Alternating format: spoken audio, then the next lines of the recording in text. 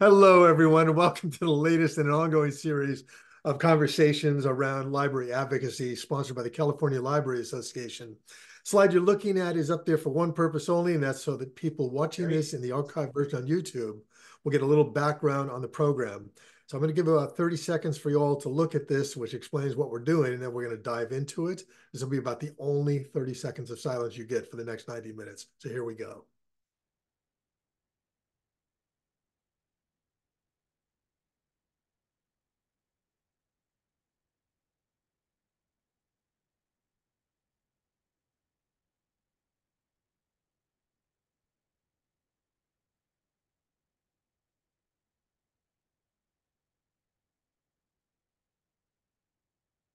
Obviously, as you see down at the bottom of that, we have these programs once a month. We usually post these as far in advance as we can. Sometimes we're way on it. Like we already have our June event uh, publicized on the CLA site. Our May one, we're still firming up, so that I, I hope will go up in the next week or so. And the recordings, if you're watching the recording, you know how to get there. And finally, a pitch, if you like what you see here, we are we do have a bequest that is the heart of this program, but we always want to make sure that we're refilling the coffers so if you like what you're seeing here, feel free to make a donation at that site that you see listed there. Uh, that helps us to show support for the program. It also helps to make sure that we can keep doing this well into the future. And with that commercial out of the way, let's stop the share and let's get right down to it. Oh, hi, Sean. Good to see you here. So how did we get here today? Pretty simple. It's advocacy in action. A couple years ago, Anthony Chow, who's one of our uh, co-presenters today, who heads the School of Information at San Jose State University, brought in some of his spectacular students from the university talking about projects they did uh, that were advocacy projects as part of their learning. I sat in that audience listening, stunned at the beauty and the enthusiasm of what the students were accomplishing. And in my usually five-year-old way at the end of the whole session ran up to the front and I said, that was spectacular. I'd like to have some of you involved in what we do through the Ursula Meyer's program. They're all going, Ursula who? So we chatted and a long story made short, one of those people, Esra Nawar, who is a, a librarian down at Claremont University and is already involved in advocacy at many levels and making quite a name for herself, she came to the first four Ursula Meyer online sessions. We were also happy and impressed with the level of expertise and the questions she asked as a participant that we invited her onto the committee that oversees this whole project. Since then, she has done a couple of Ursula Meyer's presentations with me. She and I work in a variety of other uh, contexts in advocacy and other things, making the point that you never know from the most simple act of advocacy or conversation where it's going to lead. This is how we build our partnerships. That really is at the heart of what we're doing today. As you hear from Sarah talking about her case study, hear from Anthony about how the program came about, and more importantly, you interact with each other, say, how can we be doing more of this and spread the wealth? What I hope will come out of this is an, an extension and a further strengthening of what the whole Ursula Meyer's project brings you under the auspices of CLA. So with that said, let me just ask those of you who are on, it's good that we have a small intimate group here. Let's get to the heart of what we're going to do today by just doing a, a kind of benchmarking. If you don't mind unmuting briefly, tell us what experience you have working with students in advocacy, either in libraries or any other setting. Let's just get that out on the table so Anthony and Sarah know the level of expertise we're already dealing with. Anybody?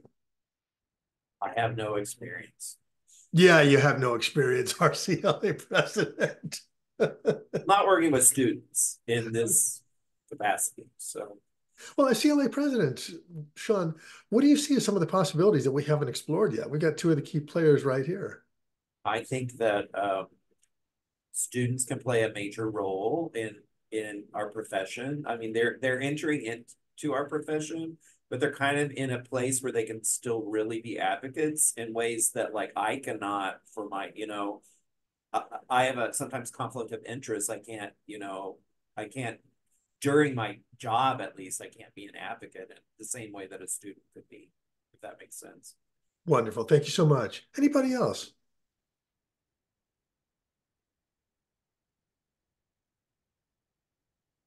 I'll turn on my camera, my super backlit camera, which is why I leave it off for a bit. Um, I hi, I'm Sam. I'm a former iSchool student and uh, currently at CSU Dominguez Hills. Um, I don't really have much uh, direct student advocacy uh, workshop. I say I advocate adjacent. um, particular, the thing I can think of is we have something called uh, ASL, Affordable Learning Solutions, uh, which is a way for students to get textbooks for free or for cheap. And we have student assistants um, as part of that who actually go out to the classrooms to promote programs. Um, it's the closest thing I can think of other than when I table and give out stickers about how awesome the library is. If you could walk away from the session with something in place as a result of talking with Sarah, Anthony, and everybody else, what would that look like to you?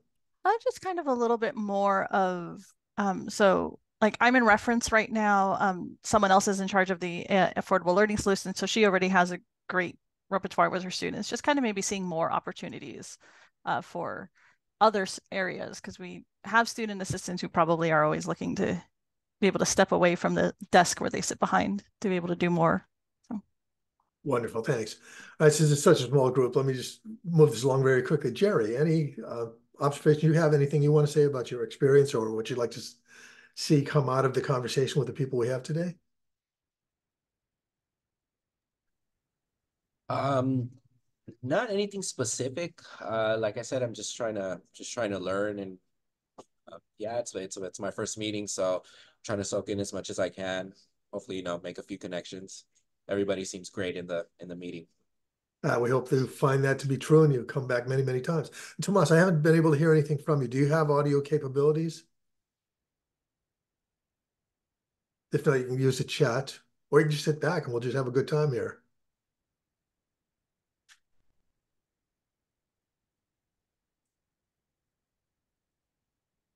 Okay, if there's nothing there, then let's get to the heart of it. Anthony, talk please a little bit about how this got started and the impact it's having out there.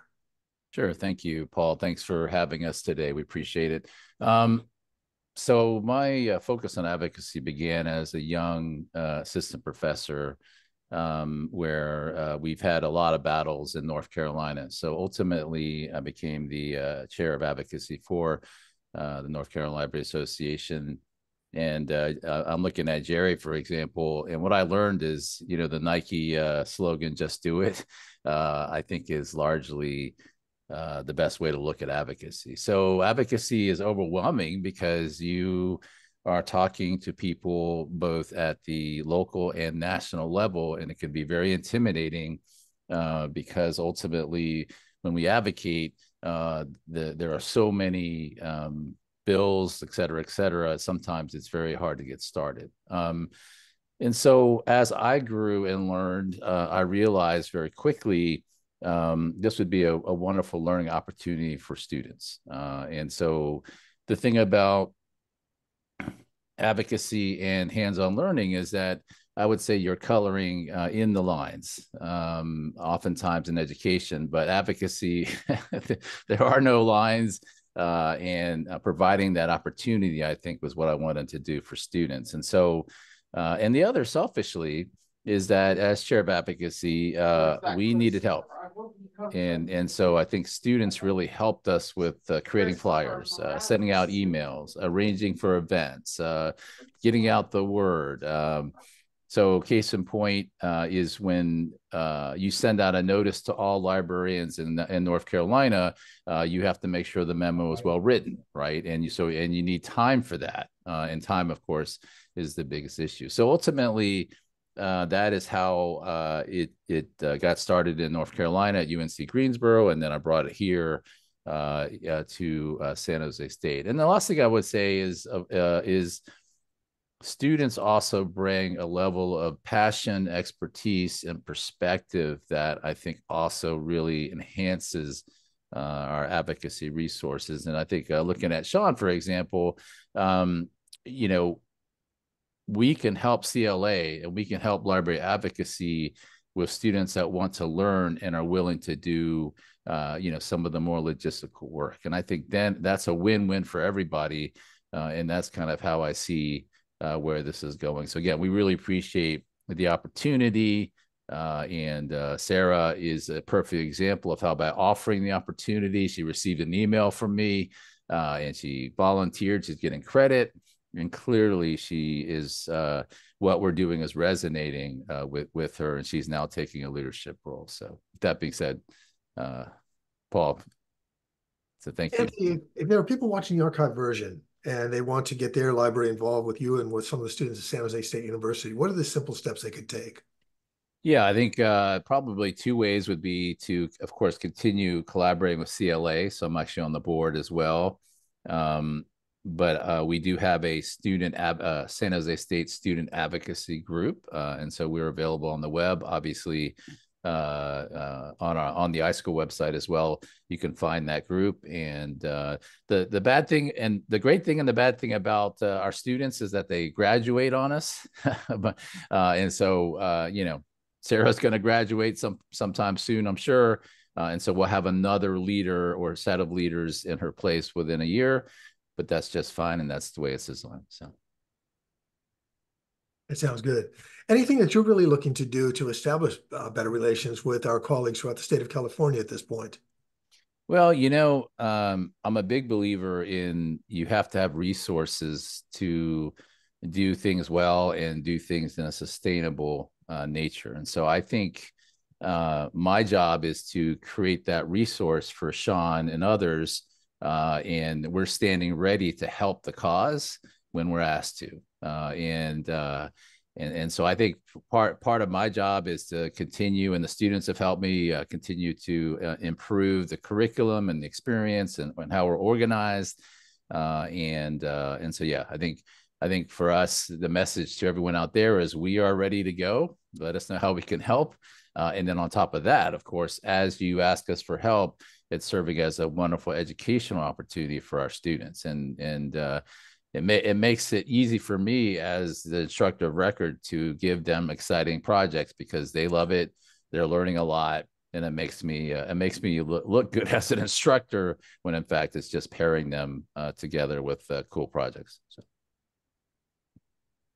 Wonderful. For those watching the archive version, I did put into the chat that I don't know if you can see or not, links to what's going on at SJSU. If you want to get to the School of Information site, uh, it's basically ischool.sjsu.edu.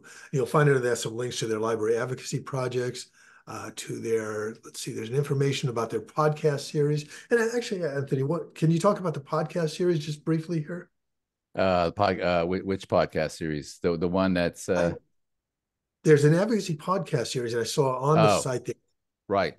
Yeah, we uh we we we started it and then stopped it. Uh I had uh wanted to partner with ALA, uh, but that just never got off the ground. So um we are looking for a partner, hint hint Paul, uh to to to do that. Um obviously the new podcast that you're working on, Information Gone Wild, is also similar.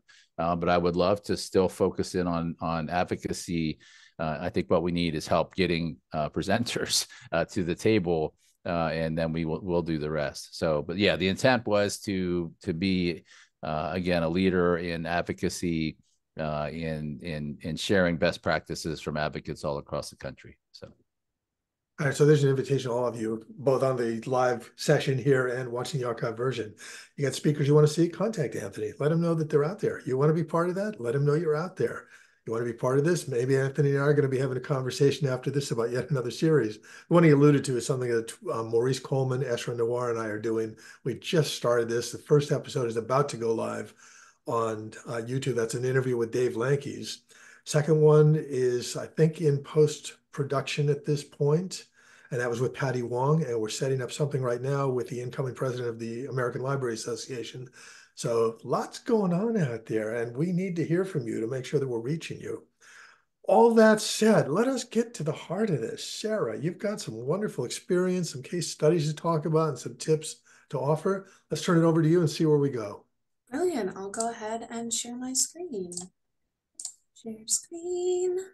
There we go. All right. Is everybody able to see it? I'm getting it fine. Yeah. That's great. Brilliant. This was a presentation I put together uh, about library advocacy. It includes two major parts, and I went ahead and created like an overview so we can get a glimpse of what we're going to be talking about. Um, the two major parts is one of the things we ended up doing this semester is summarize library standards. We have a document given to us by the California Public Library System, um, and we wanted to make that as digestible as possible. So I will be briefly overviewing what those library standards are, um, getting a glimpse of kind of why we do what we do, and then getting into actual case advocacy that we have accomplished this semester and looking at projects we've worked on, um, art that we've made, and kind of the results looking at it from uh, the last few months. Uh, getting into who are we. Uh, my name is Sarah Schnittker. Uh, pronouns she, her. I used to go to UC San Diego uh, where I got my bachelor's degree, and now I'm at SJSU uh, getting my master's in library and information science. Um, I used to do campus tours at UC San Diego, and I used to give that fun fact that kept people engaged of like who I am um, and kind of prove I'm not a robot. And that fun fact will mean something to you if you play video games, it will mean nothing if you don't. Uh, I've completed the Pokédex on four separate occasions. I'm particularly proud of that. Uh, to those who don't know what Pokemon is, I like to collect things. And I think that's the best way to explain it. Um, I'll go ahead and hand it over to Dr. Chow if he wants to introduce or add anything about him. Great. Yes. Uh, I think um, Paul did a great job. Uh, but again, I'm Anthony Chow, the director of the School of Information at San Jose State. And I think, uh, again, why I'm so committed to this is because uh, the opportunities that we're providing our students really reflects how I learned as well. And so I think Jerry probably and others are here to learn more about advocacy. And really the key is to just get in there and do it. Um, and I can say, and I think as Sarah sees uh, as well, when I first got involved is because there was a need. And uh, instead of looking around to see who else was going to step forward, I stepped forward and realized that it wasn't that hard. Uh, and uh, you know, uh, in the end, you just gotta gotta get it done. And uh, and and I'm just delighted to be able to work with uh, you know students like Sarah. So. And we're both here from SJSU School of Information. Uh, I am taking these classes completely remote and asynchronous. Um, I have the benefit of being a part of an online program, so I'm able to work. Uh, I actually work and live in Los Angeles County, so I'm able to do all of my classes online and do this in tandem with my work, and that makes it very flexible for me. Uh, I think I'm supposed to say that I'm not here on behalf of San Jose State University. Uh, I am a student at San Jose University. Um, and I just wanted to make sure we had that clarifier. and Sarah, uh, before you continue, it's something that Sean said, and, and for all the listeners, uh, there there is students do present a uh, to be candid a loophole, right? Which is that ultimately we, as the representatives of our respective institutions, we oftentimes cannot take a stance, should not take a stance. Uh, however, students, especially when they're earning credit and it's an educational, can take a stance. And so I think uh, that's another very important point um, in terms of moving things forward uh, and kind of working together. And what I think is really nice about that relationship is that by taking it for credit, we have the opportunity to get the resources from a university, but still just be a student and be able to do things a bit more independently. And I kind of like that tandem work, I think works really well. So I wanted to open it up to our four participants uh, and get an idea of who are you and where are you from? I will stop sharing so we can have that conversation. I well, I think. start. Yeah, I'm go ahead, sorry. Sean. I- I'm Sean Thrasher. I'm the director of Ontario City Library, and I'm also the current president of California Library Association. Um, hi, my name is Jerry Hedon. Um, I work at the Ontario City Library under Sean, and I'm also uh, in uh, iSchool for my MLIS. I just started the program in January. Wonderful. Oh, yeah, I'm ready. I was like, Jerry, careful, your boss is behind you.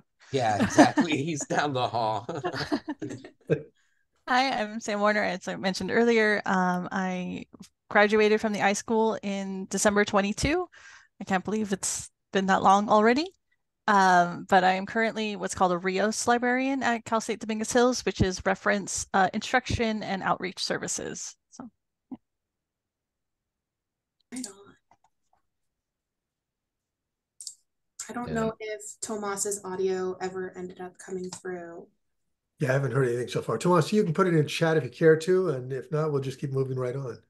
And and Sarah, before we continue, um, I'd like to ask Sean uh, his thoughts on advocacy in terms of kind of your as you move throughout your career. Do you have any thoughts on you know kind of how, uh, how you evolved as a, as an advocate to where you are now in terms of Well, easy, don't- hard? Mhm. I don't think I would be the president of CLA if I didn't know that advocating for libraries and librarians was important. I mean, I, it's been, I feel like part of my entire career.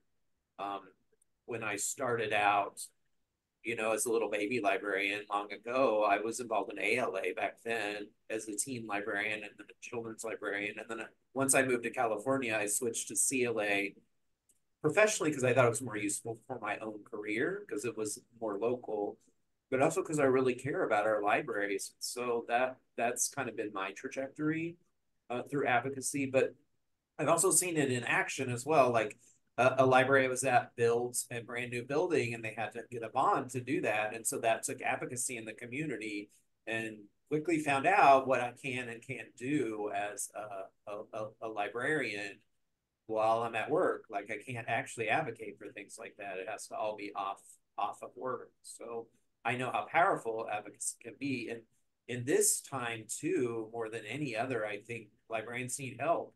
Um, we're under attack all the time right now, and we definitely need support out there, you know, that can come to our defense. So that's kind of my take on it. Yeah, it's a great point, Sean. And I think what's so important about what Sean just said is is that advocacy is also kind of marketing the field in a way too, because uh, the the sense that decision makers uh, sometimes don't understand libraries is a very real fact, uh, oftentimes because uh, the demographic and social economic status of our leaders tends to be in a situation where they may not necessarily be using libraries at that time. Now, of course, they use libraries as children, they use libraries to get through school, but in their particular business life, they're not using libraries. And so, what Sean said is so important because ultimately, uh, obviously, your decision makers understanding the value of libraries as opposed to not hearing from their local library and having that stereotype in their head uh, well i don't use libraries so do does anyone else need to use libraries is a huge uh, issue uh, and again a huge reason why it's so important uh, because obviously they're the ones deciding on your budgets and by the way i'm not sure in california sean but i know in north carolina 90 90 plus percent of all funding came from the local resources. And so obviously those relationships and also understanding what the priorities of your decision makers are and how libraries can help with that is so important. So Yes, almost all, uh, all, almost all of our funding comes from our general fund. I mean, we get some grants that fund special things, but you know, all of our general services are local funding. that's, that's wonderful. City, not even like a county or anything, like from the city libraries. So. That's wonderful. And I, last thing I'll say, and I'll turn it back over to Sarah, is that that's a perfect example of good relationship building as well in terms of, uh, and it works for grant funding as well. Um, the same thing at the federal and local level. Um, we want to pay respects to our decision makers or the funders to understand what's important to them, uh, and then to to again align our efforts to that. It's a very simple relationship, actually. But uh, imagine if you were a decision maker and we never heard from Jerry, and then Jerry comes to us asking for money. Um, you know that that becomes a bigger issue if we've never if we don't know who you are uh, and we've never had a conversation with you and whatever you're asking for may not be aligned with our priorities right so yeah Excuse me, this is Tom Scudder. Can you uh, hear me now? yes loud and clear Okay, great. Yeah, I got smart and finally went on the phone instead of trying to make myself heard over nothing. Um, yeah, I'm part of um, the newly revitalized Friends of the Ontario City Library. Seems like we're re- well represented in this little group now. Um, and I was thinking that I would be pretty much a fly on the wall here, just mainly listening and learning and then transmitting all of that back to the uh, larger group of the friends. uh, I have actually have an MLA as well from the late great um, Fullerton Library School. However, I spent most of my life as an economist after that. Um, and I'm sort of trying to figure out sort of next steps for our group. We support the library mainly uh, financially, I think, in fairly small way. I kind of that's a personal opinion of mine, and I'd really like to uh, find where we can go next in actually expanding our um, our support of the library. I'm not really certain how that would work with uh, students, but I'm open to learning, and that's why I'm here. May not hear much from me on the rest of this um, rest of this recording.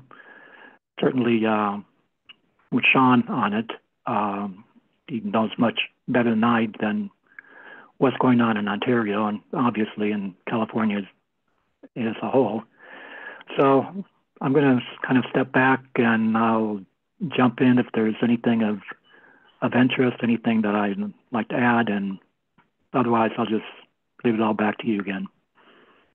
Uh, I, pre- I appreciate it. it's good hearing from you, Thomas. And I I would like to say uh, real quickly that uh, the way we can help is students again can support initiatives that you may have, uh, whether it be sending emails out, um, helping you put, put, together a flyer or an infographic, or uh, something like that. And how you all can help, I believe. So I, I have several book chapters coming out. One is uh, Library 2035.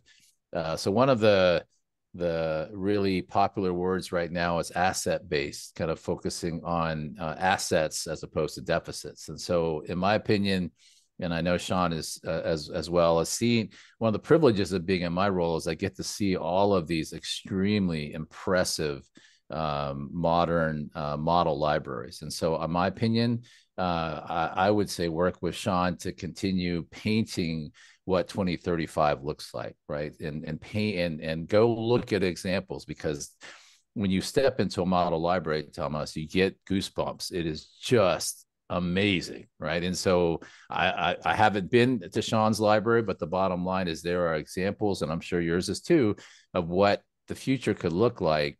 And I think you want to paint those, uh, paint that vision uh, for your decision makers. Yeah, for those of you well, watching the version here, there's a really important point to be made, which is doing these sections to help bring people together. And already we're just seeing in the first few minutes of this how one person saying, I'm doing this and I'm trying to gain more about that gets the open response that you're hearing from people like Anthony and from Sarah. So I hope that as you're listening or watching this uh, long after it's been posted out there on YouTube, that you don't think, oh, that didn't apply to me, because we do want you as part of the gang. You've got Anthony, you've got Sarah, you've got Sean you have the CLA Legislation and Advocacy Committee, and you've got the Ursula Meyer Committee. So you want to get involved. It's up to you to let us know you're there, and we will grab you and run with you as fast as we can. Sarah, back to you. All right, I will go back to sharing my screen. There we go. Um, yeah, just kind of springboarding off of those points, I wanted to talk a little bit of what student advocacy has meant to me as a student and how uh, getting motivated in the program and those kind of like, I call them columns of that motivation for myself. Um, when I connected with Anthony Chow for the first time and was going into a lot of those meetings, I knew I needed more information. I needed to know more about advocacy. And I actually attended one of these sessions in order to get that information uh, well ahead of time. So, the step one is always learning, learning about what advocacy is, what programs are out there to help me learn, um, what are the actual legislation that are impacting me. Um, the constant flow of information online and learning about the issues is always step one, and it's part of that motivation process. Step two um, is speaking about those things, making noise, talking about the issues, getting involved with the issues. When people say get involved, they mean make noise. They mean talking to your neighbors, your friends, your colleagues, your fellow students, um, whatever capacity that is, be it online when you're doing it through Instagram or making posts, or just bringing it up sometimes with your friends in a casual setting. Um, as long as that conversation conversation keeps moving, then the action item will keep moving. Um, so kind of making noise is what's going to trigger that third column, which is inspiration. And I hope that relationship for all three is pretty cyclical. Um, by inspiring other people, they're going to be learning more things. By learning, they're going to be speaking and inspiring themselves. And so that relationship of how they get tied together uh, to form what student advocacy is. And I wanted to open it up again for what advocacy means to you and if you have students working under you, what that relationship looks like.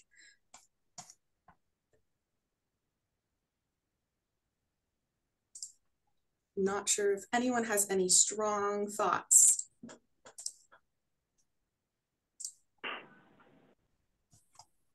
If not, I Well. I'm a sucker for an easy question. Advocacy to me is getting out there and, and working to build a constituency for positive change in the communities we serve. I think that, that sets us aside from political conversations about, am I only speaking for the left? Am I speaking for the right? Am I speaking for the Right. moderate or whatever? It's like, whatever point you are at on the political spectrum, you get out there and you talk with colleagues and make your case and you listen to the other side. You seek those points of collaboration, those points of intersection. And working at that level, we get past some of the things we've been seeing where people say, oh, we can't do anything, which I don't think is true at all. Yeah, and kind of building on that, politics in general is a very tense and touchy topic. A lot of people don't like to talk about politics. We're going into a presidential election. There's a lot of tension that goes into a presidential year, right? But when it comes to speaking about a topic, I would argue you're not talking for red or mm-hmm. blue or mm-hmm. Democrat, Republican. You're speaking for yourself and your ideals. You're trying to connect with other people who are of like minds. And so, speaking on these topics, i- there is a lot of politics to it, especially since it relates to legislation, but being personal about it, drawing attention to that uh, uh, individual, individualistic idea that this is impacting me and this is impacting my community because libraries are inherently community centered. You know, we had a session last month with three people from the Monrovia Public Library, and they talked about the center they have that serves veterans. We explored that as an act of advocacy. That has nothing to do with where you stand on a political spectrum. Stands it addresses directly the idea of members of a community saying, our vets are important to us. They are part of our community. We're going to work together to make sure that those needs are met. That to me is the heart of advocacy at its best levels.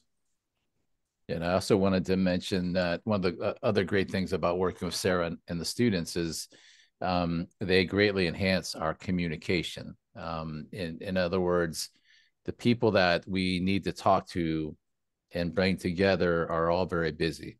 Uh, and so uh, I think without the students' help in terms of uh, helping us arrange and coordinate these discussions, uh, oftentimes these discussions aren't had at all uh, because we're uh, whether I'm not responding to email or they're not responding to email. Bottom line is we never talk. Uh, and again, students have really uh, been able to do that. Case in point, advocacy work that we're doing for CSLA, advocacy work, advocacy work that we're doing with ALA.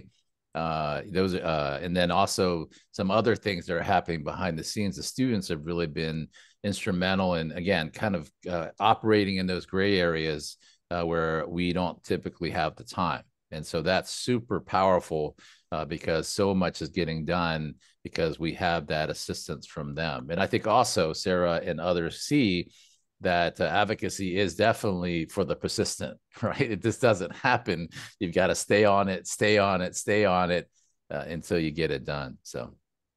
I wanted to talk a little bit about Friends in the Library as well, because that's our local advocates at every single public library, at least, and many other libraries too.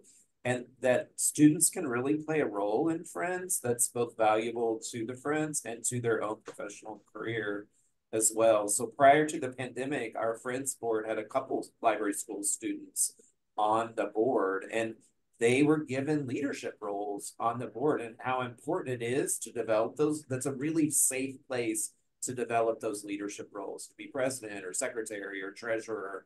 And that, that later on in your career, you can use that on your resume and in your interviews. So yeah, I did this at a library, but also you're also helping your local library too. So I think the friends needs to always be thrown out there as that's that's like down, you know, down on the ground advocacy in your own community. Sean, I is a great idea. So let me we can talk offline about ways in which we can plug that into this experience. Um, you know, friends groups now they're always looking for younger members mm-hmm. because it's mostly retirees at the end of the day, but they want new blood all the time. And students come in knowing about libraries, enthusiastic and passionate. I just don't think that they know they can do that. So yeah, I would love to talk more about it. Yeah, Sean, um, as you said that one project that we haven't gotten off the ground and it's all sarah's fault. I'm just kidding. Uh, is, is to create a gis map for uh, public libraries in california. There's already one um, uh, uh, uh sponsored by the state library but we want to take that and soup it up. Uh, in other words we want to add legislative districts to it and sean i think it would be perfect to add friends of the libraries to oh, that yeah. as well.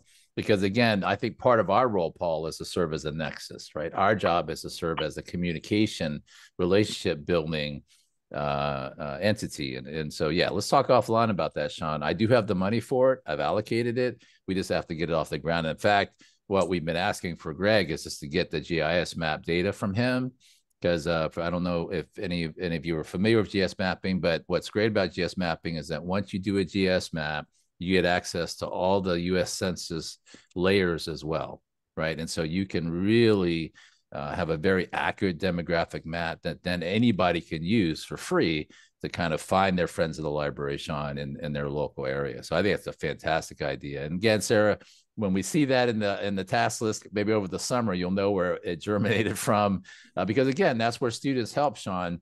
Um, they can keep the contact information up to date right? They can they can work with the consultant to then uh, refresh the gis map things like that that we otherwise wouldn't have the time and money to do right? So Great. Yeah, Paul, you're you're building relationships here, so definitely. well, let's do one more, Sean and Anthony. If you do pr- proceed with that, uh, look up Jerry Dear, D E A R, who used to. I think he's still at San Francisco Public Library. I'm, I haven't seen him in quite a while, but Jerry was doing unbelievable things about ten years ago. Very visionary with big data projects. He showed me a dream project which would do exactly what you're talking about. Set some maps up. You could filter for specific things in a community to see who was where and what needs they had. And I don't know that it very went very far at that point, but Jerry was just wonderful. And if if he's still out there and is willing to work with us, we're building that very relationship you just talked about, Anthony. Well, that's fantastic, Paul. Again, that's what's great about GIS mapping is that the GIS developers they have access to that existing data already, and it's all just visualization at that point. So Sarah, would you like to take back your presentation? Love to take back my presentation. All right. Uh, I wanted to briefly talk about why we do student advocacy. Um, I'm sure those of you who work in libraries are already familiar with this information. You obviously want to keep your job.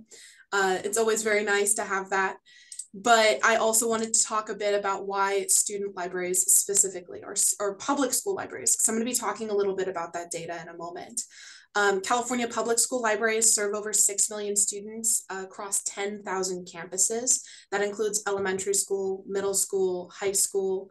Um, and the importance of addressing that is that a lot of these communities, a lot of these public schools are, are underserved or don't even have library services.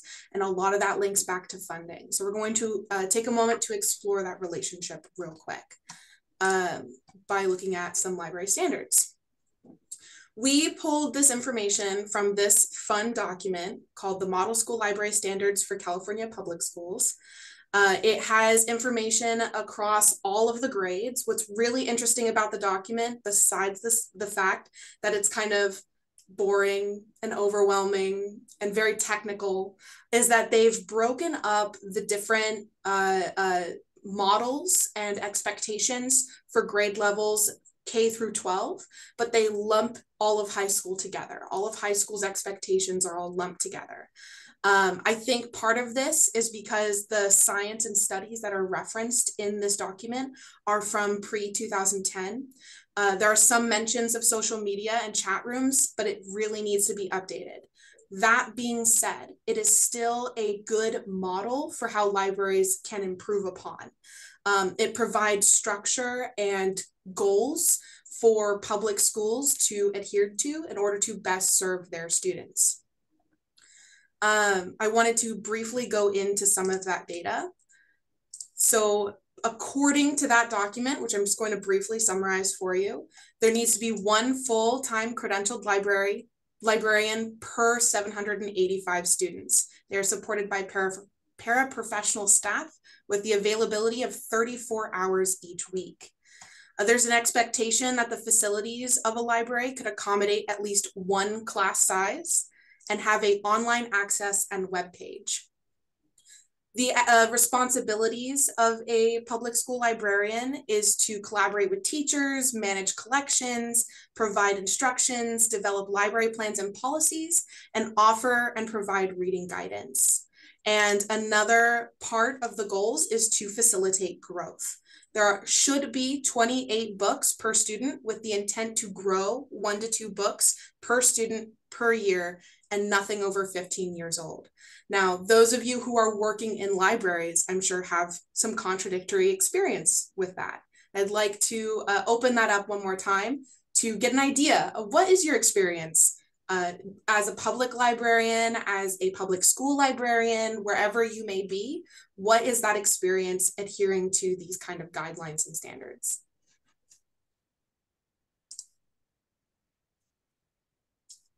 Is this for uh, all public schools? This is for the California standards. So this is Yes. what the California Department of Education had passed back in 2010. I don't, I mean, Anne, maybe you can speak to it even more than I can, but I don't think anybody but our high schools have that standard in on, in our local school districts. Yeah, can you hear me? Yes. Okay, yeah, so actually, um, at my children's school, um, which is down the street, um, I just, uh, by the way, I introduced myself in the chat, in the, the chat chat, but, um, during the pandemic, they actually got rid of the library and the principal at the time, like literally wiped it out and used it for storage. And we're in the middle of rebuilding it at the moment. And one of the fundraisers that I did through the school was the readathon, and we're allocating some of that money to rebuild the library. But, um, I de- the yeah that we definitely are yeah we have a huge lack of materials for the children right now and the library is so small. So um yeah it's very it's I, those standards that that I don't think our principal is even aware of those. So um I would love to get a copy of that and actually show it to him so. Yeah, of course. Yeah Um, it's really interesting because I I'm personally not a parent, but I'm friends with a lot of parents who have students in like elementary school, middle school, high school, and they talk about their experiences dealing with resources available. And it comes back to the library simply isn't open, or the people who work at the libraries are not credentialed librarians, and the books that they want to have aren't always available. And I think that experience really speaks to why we do what we do and why we have advocacy programs like this. Um, I'm actually going to share my screen once again to show you the contradictory data. Um, this is kind of the, the downside is what actually happens. Now, again, this data is looking specifically at California. Uh, only 9% of libraries in the state of California have credentialed librarians. They are open for 24 hours weekly, with only 50% of libraries offering services during lunch, breaks, and evenings. That means that a majority of libraries are only available and open during school hours. 16% of public schools do not have designated spaces for libraries. Uh, California continues to rank nationally at the bottom. We are, uh, uh, according to the data, the worst public school library uh, system in the United States. Collaboration with teachers have hurdles like funding and curriculum disputes. Uh, I'm sure we've been seeing a lot of that in the news as well as book bans are starting to become more popular and have been on the rise. Uh, and another hurdle is funding has been localized in the state of California since 2013. Um, there's an interesting conversation to be had that although we can put aside uh, other factors like parent education, poverty, ethnicity, and percentage of English language learners within a certain community, it does directly impact the amount of funding they receive just based on how tax collections work, how the demand of those services worked. Um, and it's really interesting seeing kind of that contradict what libraries in California want to achieve. Uh, another important note is collection growth has gone stagnant with about 20 new books per school added each year. And over 20% of those books are over 20 years old. So the growth that California libraries want to adhere to are not being achieved. And these again are all statistics from the Department of Education, all available online. So this raises the question of how do we initiate change? And the short answer money. um, it always comes back to money. Everything ends up being about money. It's about how taxes are collected. Um, and this is, again, why we're doing the advocacy that we're doing. I'd like to pause for any questions, um, but I can also go right into my examples if we want to start on that. Sarah, I'm going to add in something from the chat because I'm assuming you can't see it. Jessica added the following comments and um, she's not able to use her audio. She says, I established a friends group for our school libraries when we returned from the pandemic. It's made an amazing difference. I took our library from woefully outdated to a plan for turnover every 15 years and have the age of the collection up to date, though we're only at about seven books per student. So lots of growth to do. Yeah, that's fantastic. It's really interesting to seeing kind of post pandemic and during pandemic how changes like that have happened. Um, you know, a lot of people had a sudden intake in time and were able to be in more involved with their libraries. I know here in LA County, libraries have been a very uh, uh, impactful and resourceful uh, option to receive COVID testing, to get masks, to re engage communities and provide hotspots and internet, creating spaces for people to work from home.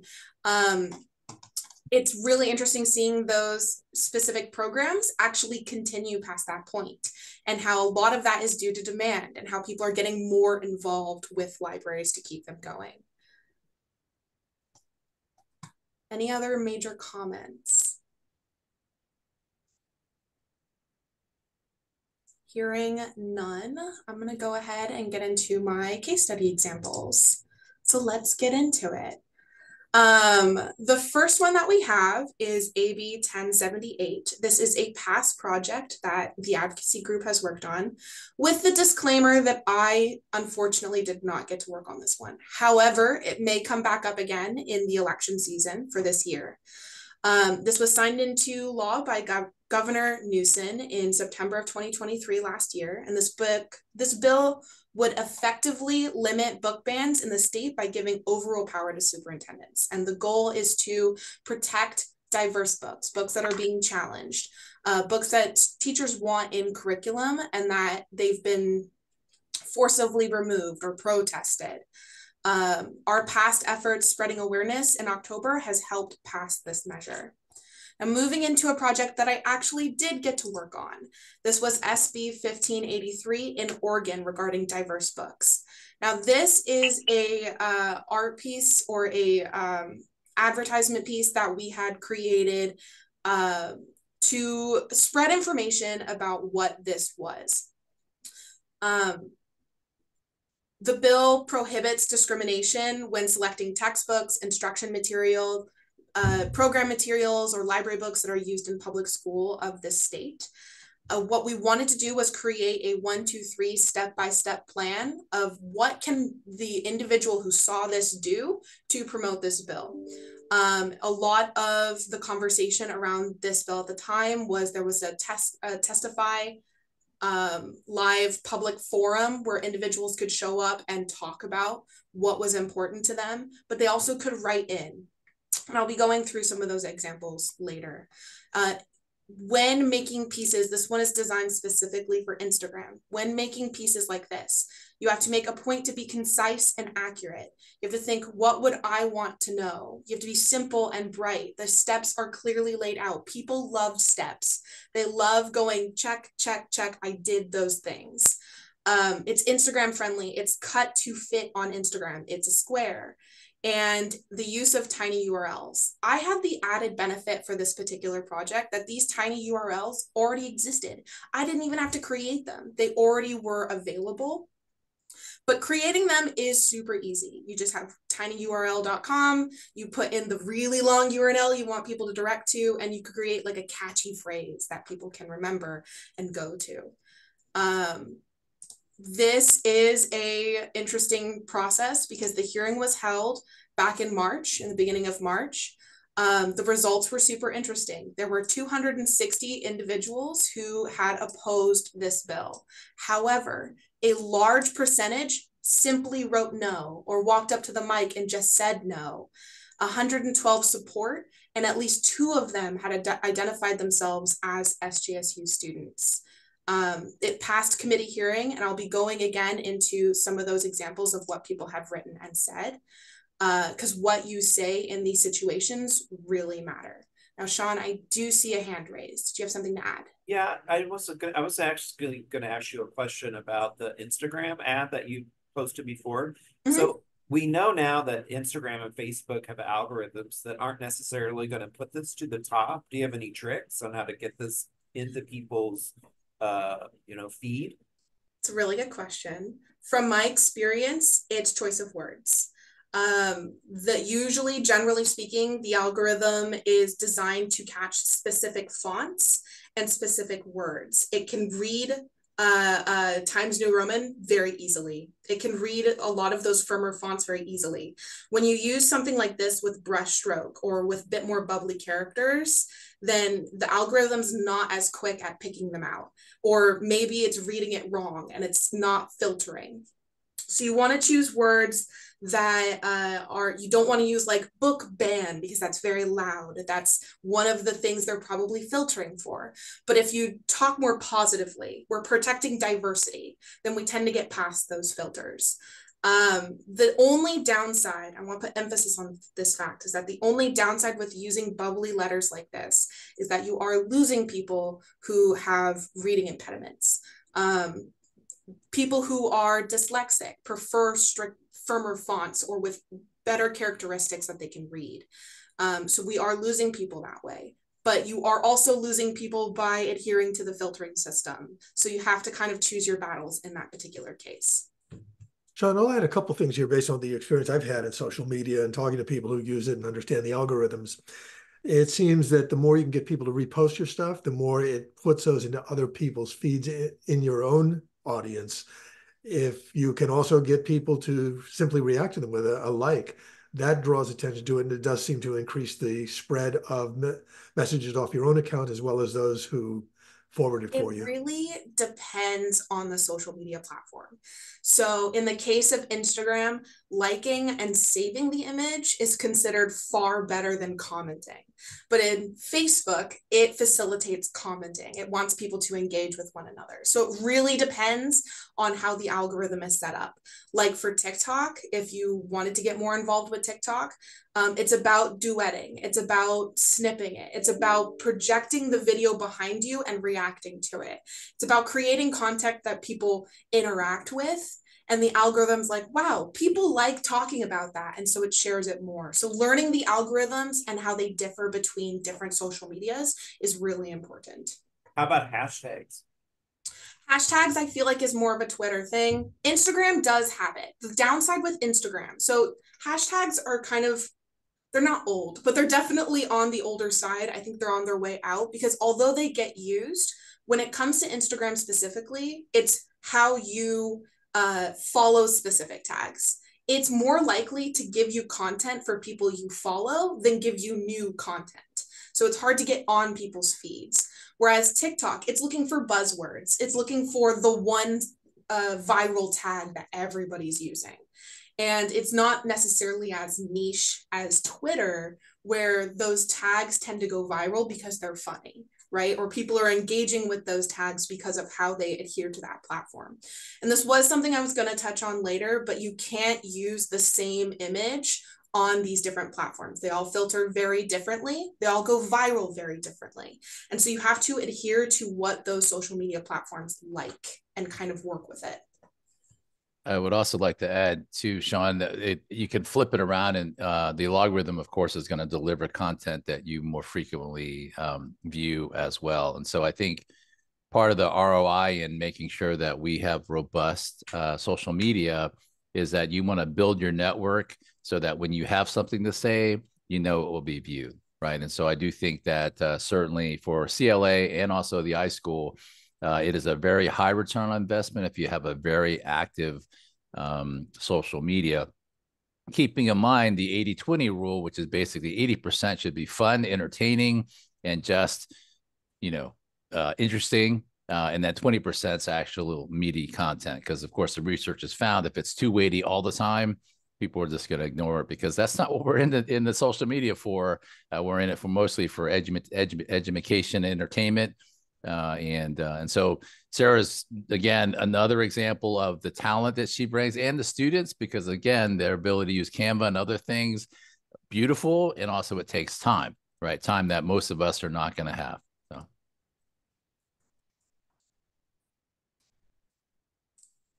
All right.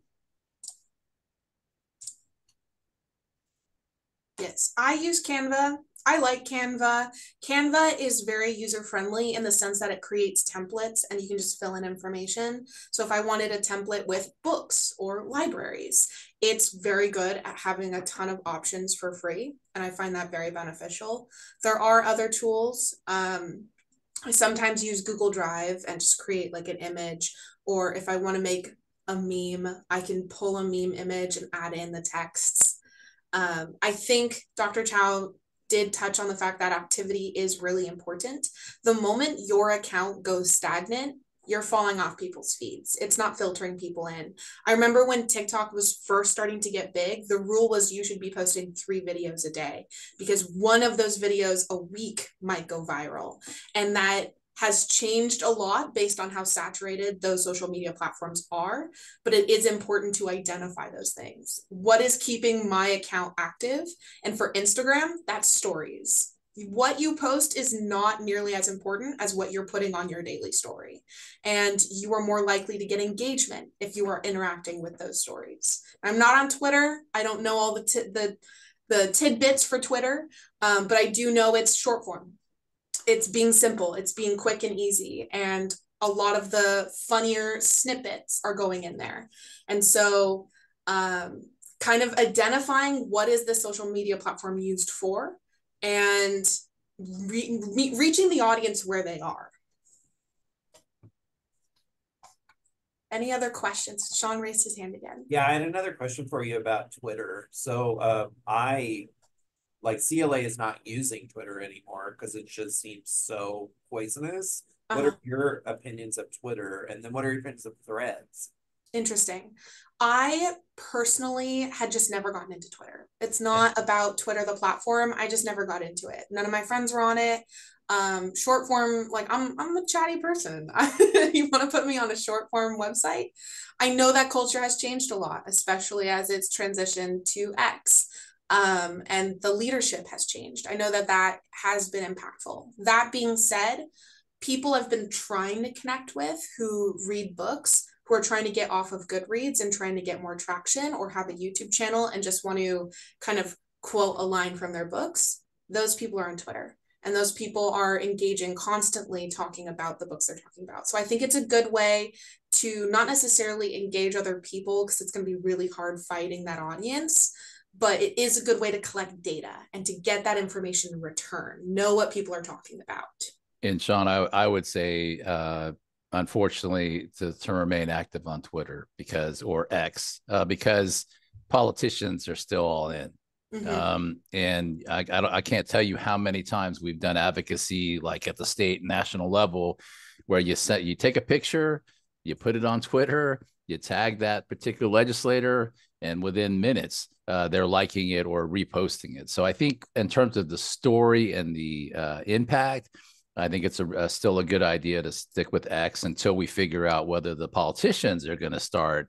So I think honestly, Sean, it's the politicians. If the decision makers are still using it, we should still connect with them because the way the magic of, of social media is that when we connect with them and they post anything about CLA or or us, we're getting to their constituents, right? And that's that's really what we're after. So I'll add a third perspective to this, Sean, and that is that for a while there, I was on Twitter an awful lot. I went into it kicking and screaming over a decade ago. Didn't see didn't see the value of it, and then it became a very valuable tool in training, teaching, learning for the longest time. When the switchover came with the new owner, and a lot of people started bailing, I found that the people I want to communicate with were on other channels. But more importantly, I saw a very interesting thing. All of us spent about three months saying, where do we go next? We need another meeting place. And it became clear after a couple months, we really didn't need another meeting place. That particular platform for us had lost its effectiveness. We'd already found ways to be in touch. Some of the things like Signal and WhatsApp and sharing things like that. And we found at conferences where we used to use Twitter an awful lot to stay in touch. The conferences got better about actually having back channel modes. So bottom line for me is we always want to ask ourselves a primary question, where is our audience? Mm-hmm. And is our prospective audience in that platform that at this point we're not so crazy about? And if our prospective and current audience is still there, we need to have a presence. But understand it can change overnight, as was the case with Twitter to X. And it could change back. I, I still maintain one account there just so that if it switches back, I've got my username there, but I haven't used it in over a year. Yeah, and kind of building off of that point and uh, touching a little bit on threads, I know that threads kind of grew because of Twitter's downfall. A lot of people were leaving Twitter and trying to find somewhere to go. And so they went to threads and they tried to create threads and they tried to create on Instagram the same thing that existed on Twitter. And I think that although it could be a hit, I think people are still missing what they wanted, and that was to have a separate platform, uh, to exist in multiple places. And Threads is very closely intertwined with Instagram, and maybe they have a different persona that they project on Twi- on Instagram that they want to maintain. And so that's one of the distinct challenges of Threads. I think it's very undersaturated. I think it's very quiet in comparison to a lot of other platforms because of that. Blue Sky is another one. As soon as I heard it was coming out, and people got me an invitation to it. I established my same username there, but I haven't used it. A because I don't need another platform at this moment, and B I don't know if any of my other colleagues or prospective clients or anything along those lines who are using that as a primary thing. But I think it's important to lay your claim where you think you may need to be, so at least you got a foot in the door, and don't waste a lot of time until it becomes obvious that that's a place to be. And who knows, maybe another pandemic will happen and another social media will go completely viral. Hopefully, not. No. Hopefully not. But that is the case of TikTok. That's why it went big is because you did not hear that first here in this session. No, no. but that's why TikTok went big. It's because they wanted that short form entertainment. They wanted to be engaged somewhere, and TikTok filled that specific niche. And there were platforms like TikTok before. I don't know if we remember Vine, but Vine used to exist, and it was almost identical. So the only difference is something happened in the international community in a much larger scale that forced people into a space. And just in spite of my mock horror, in spite of my mock horror, you're making a great point. You always want to think ahead and you want to keep your options open. Right. All right, seeing no other comments, I will keep moving.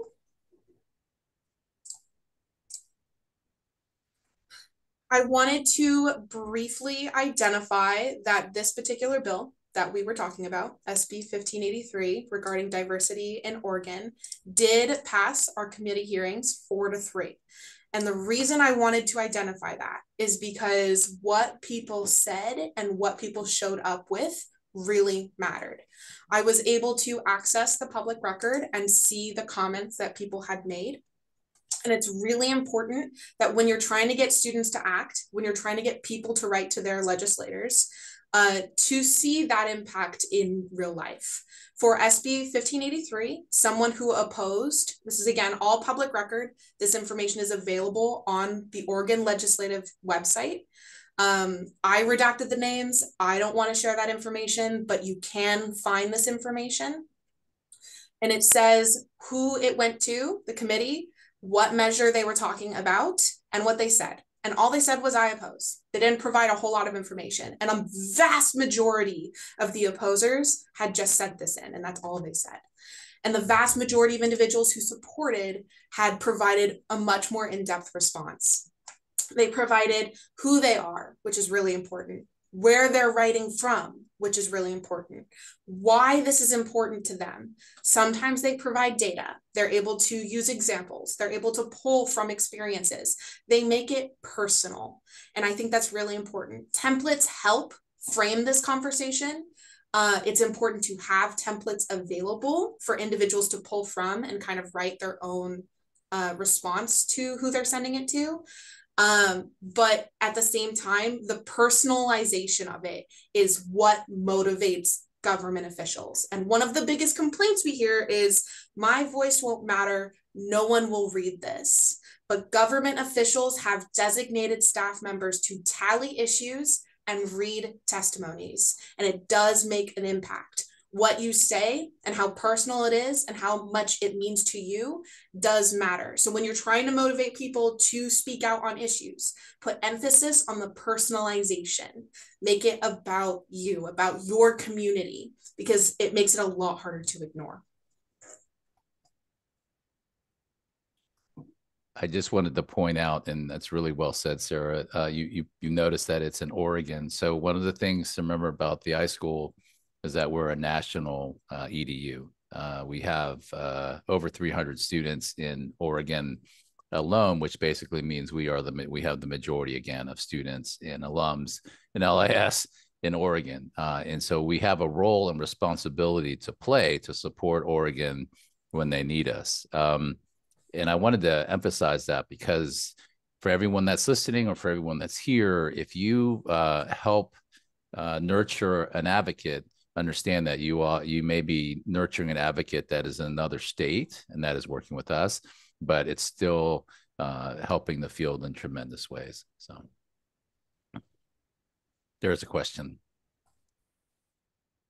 Hi, it's me, it's Sam. Um, not so much a question, just kind of wanted to add to where you said like people say they don't think they can make a difference. People say, and then of course, great to make it a personal story. Um, I can't cite this because I'm pretty sure I saw it on a TikTok or Instagram or something. But there was a survey done where they said, like, how many times do you think you need to contact your representative or how many people do you think need to contact your representative to make a difference? And everyone was saying, like, oh, hundreds, thousands people. And the number that the representatives actually said was 40.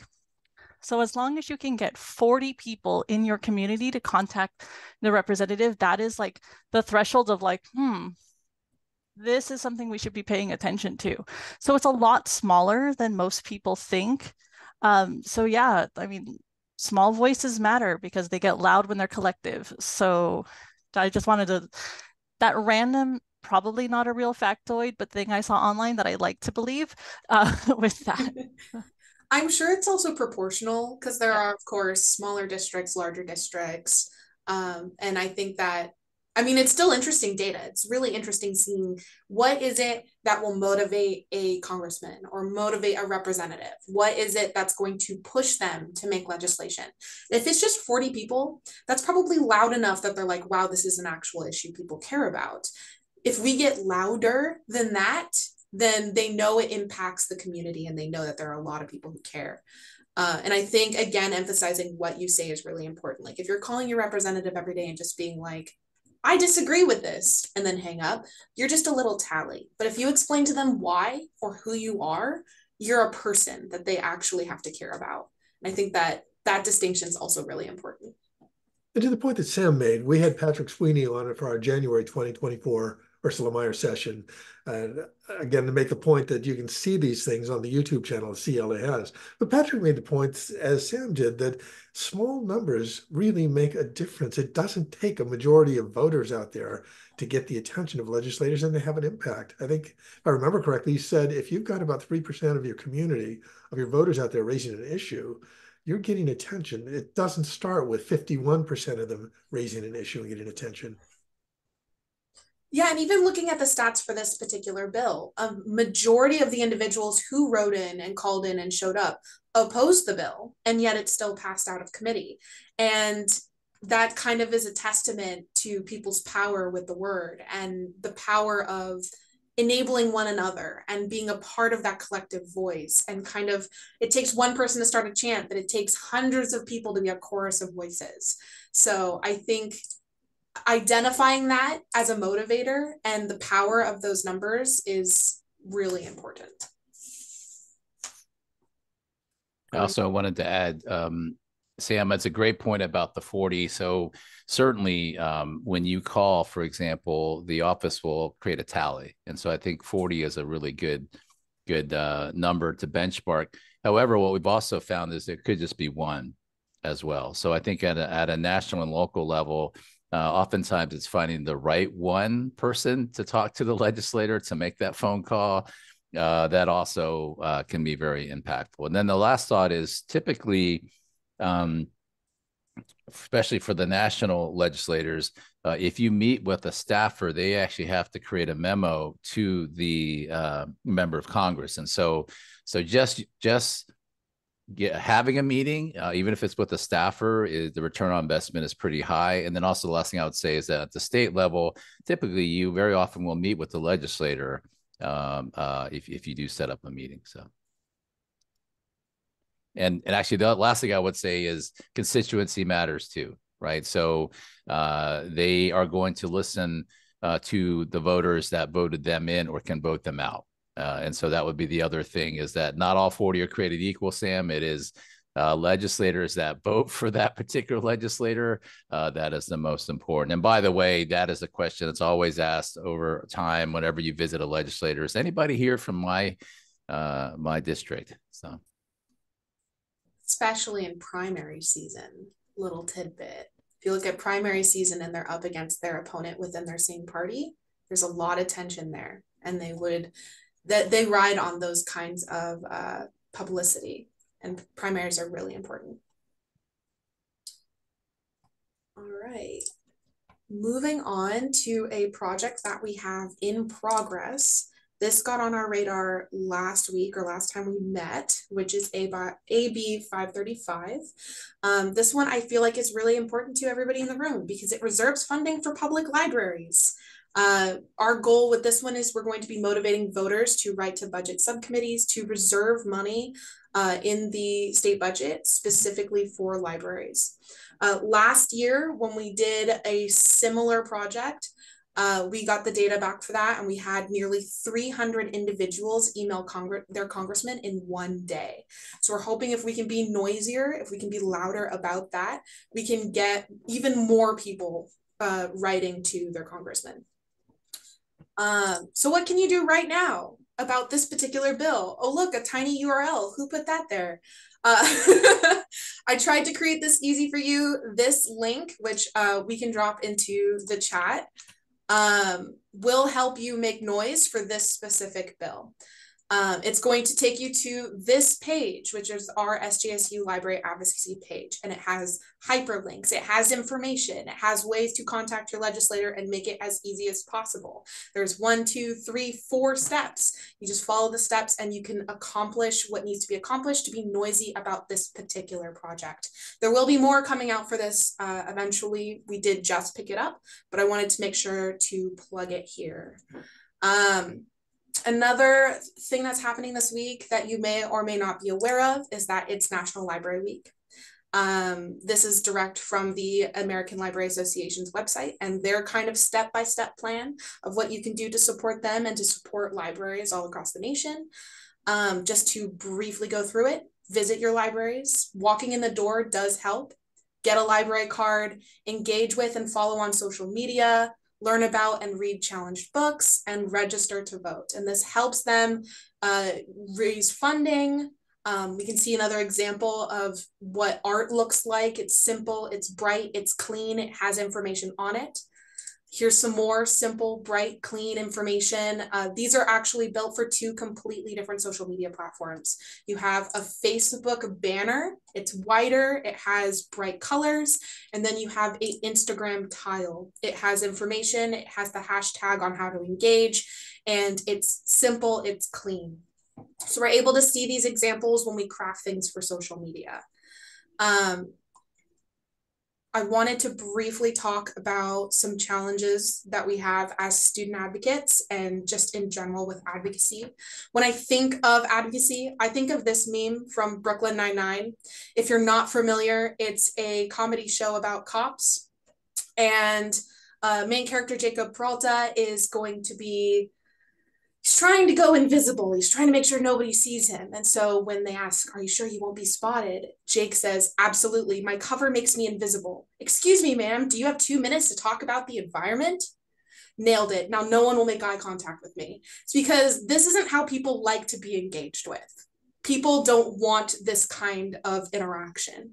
It works, but it also makes people uncomfortable. So you have to find ways to reach them uh, and to connect with them and the way people want to receive this information. And it's always going to have its challenges. So I wanted to talk briefly about our personal challenges and the challenges that we've had. Um, for number three, we'll start from the right and go left. It's easier for me. Uh, effort it you are constantly competing for other people's energy. You are constantly competing for people's time and effort. You need to make sure that what you are talking about is worthy of that time. You might think so. You need to call to them what makes it worth their time to them and meet them on that field. Complexity. You want to make it easy. You want to make sure you are addressing something that they can actually walk away with steps. They can have a one two three this is the best way to accomplish that task uh, less steps is always easier. Less steps is definitely better. But people, again, like checklists. They like to be able to say, I did that thing and I can move on. And again, emphasis on power of numbers. Uh, there's always a few people who are like, my voice doesn't matter, or uh, this is really overwhelming and I don't want to be involved. The power of numbers and getting more people involved and just having one person speak on an issue is an accomplishment and acknowledge that accomplishment. Uh, one tactic that Dr. Chow likes to utilize, and we would like to utilize moving forwards, is addressing uh, different people in different states. So SJSU, the state university, is located here in Northern California, but we have students enrolled in nearly every other state.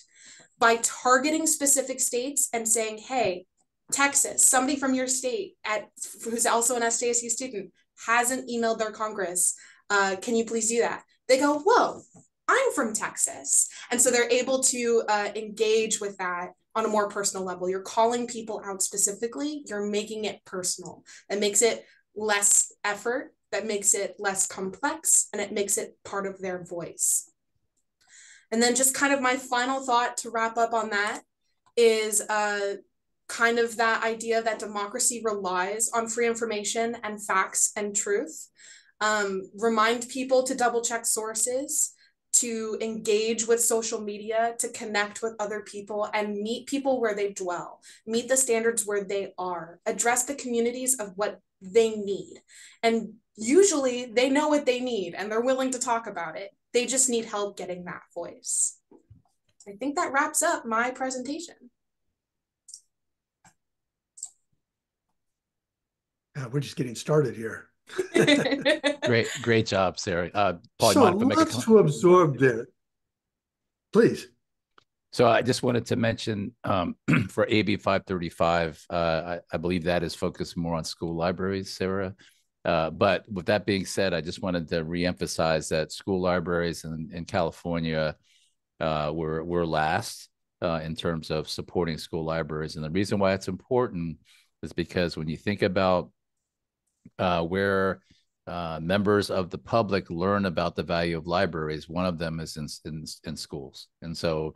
Um, and then on top of that, the other part to it is certainly the fact that, uh, no surprise, but we're in always in the uh, mid to upper 40s in terms of literacy rates across the country, and many of the children uh, that uh, school libraries are serving are ones that do not have a lot of books at home, do not have a lot of disposable income, and also do not have parents that have the time to take them to the public library. So I think uh, as we continue to fight that fight, Paul and, and others, uh, it is a it is a library fight uh, for the uh, for the benefit in particular of the children that uh, attend our schools. So I just wanted to throw that out there. And yes, there's a lot of exciting things that are happening. Uh, and you've heard it here first. Uh, one of them is that we are looking to put supportive school libraries on the ballot in two years. Uh, because we are uh, we are tired of of trying to advocate within the formal structure ball, and we're just going to take it to the voters. Uh, and similar to how the arts did last year, we think that may have may be the best chance of success. Just asking the voters to fund school libraries, um, and and uh, and and and of course try many different ways, but that's one of the ways we're going to do it. Anyway, I'll stop there, Sarah. Great job. Uh, so proud of you. Anthony, looking forward to supporting that effort you just talked about of getting the school libraries more support. Tom, Jerry, Sam, and Jessica, any questions or comments? I thought that was a great presentation. Thank you, Sarah. Um, when I was in uh, when I was at UCR for my undergrad, I can't tell you how many times I, you know, fake picked up a phone call when somebody would try to hand me a flyer or something. So yeah, I think you you hit that on the head, and I think that's one of the things I'm trying to work on myself is building those relationships, and um, like you said, Anthony, just just trying to get out there.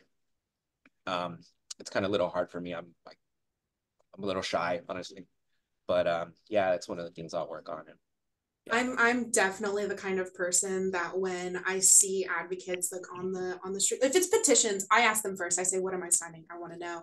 But if it's like someone handing a flyer or somebody asking for money, I'm usually the kind of person where I'll like turn to who I'm with and be like, "Ask me a really complicated question right now, so I don't have to engage with this person." And I totally understand that it really depends on the case by case scenario. And i think that's why social media is such a good tool is because people who want that information are actively looking for it. And those are the people you want to motivate anyways right? Um, it helps to have that front to front person to person interaction. You definitely get more motivation but you're also getting a lot more people walking away. And I and also wanted to build on Jerry your your point as well in terms of being shy. I think um, I'm actually in the same boat. So as an assistant professor, I've, I've, I've always, I'm, I'm more of an introvert, but the reason why I've kind of cast that aside, Jerry, is for the benefit of the people that we serve. So when we talk about children, we talk about people in need. Um, the question to ask yourself, are you willing to fight for them? Are you willing to be embarrassed? Are you willing to put yourself in embarrassing situations for people that don't have a voice? I think um, that would be what I would encourage you to do is, is kind of look at it as you have a chance to fight for somebody else.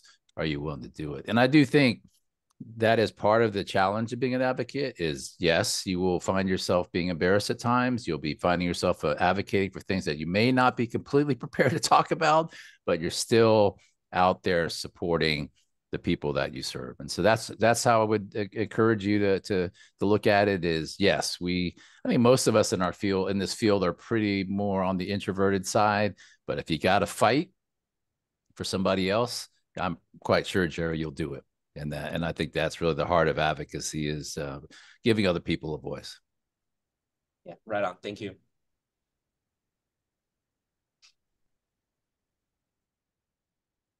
I see a raised hand. Go ahead, Jessica.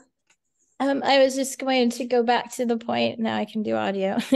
um, um, of taking the issue directly to the voters on funding public schools. This has been my battle for.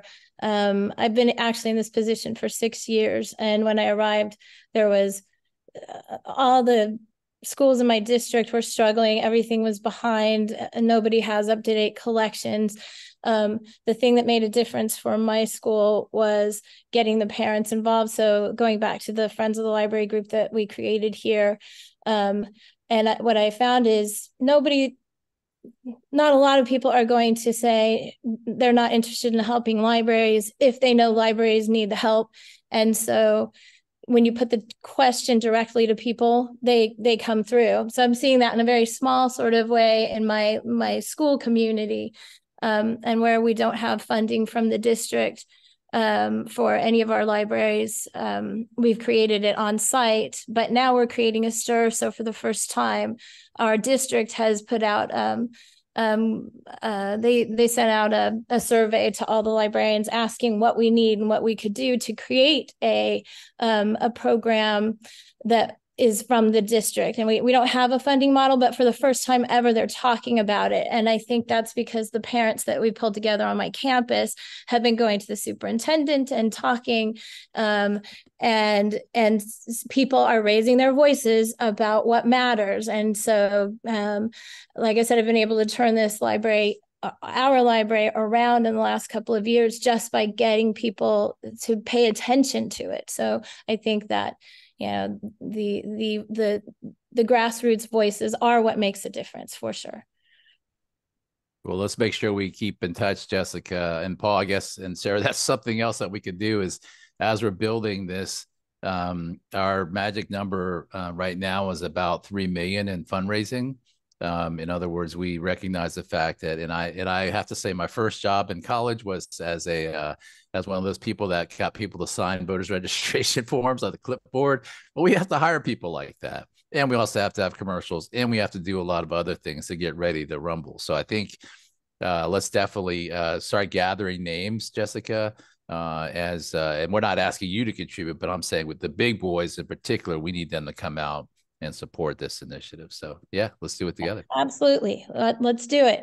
Let's do it. Absolutely. I'm running around. I always tell people I'm in library school, so I'm the biggest cheerleader ever, but um, but it never dies. I, I'm never not excited. And um, you know, I'm I always say I'm a a reluctant leader.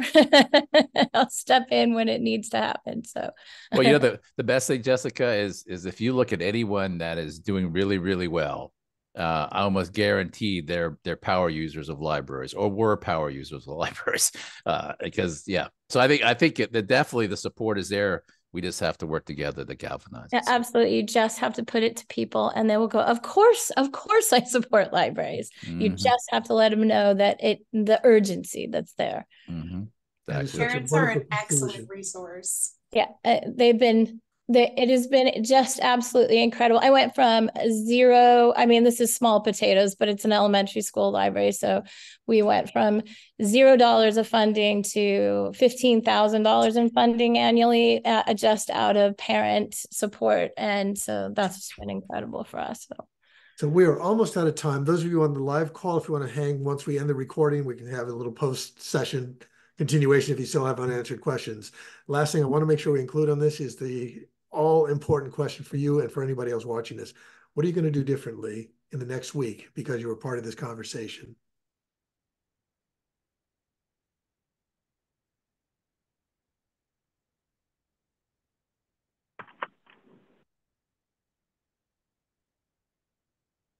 Nothing.